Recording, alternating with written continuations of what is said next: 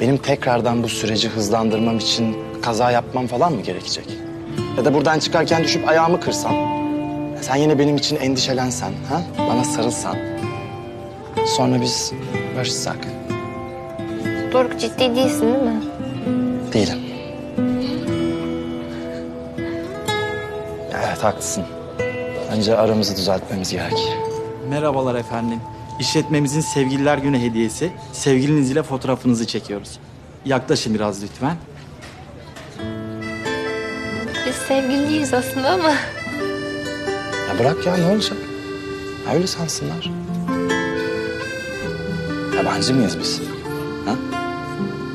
Biz beraber olmayı hala çok seven eski sevgilileriz.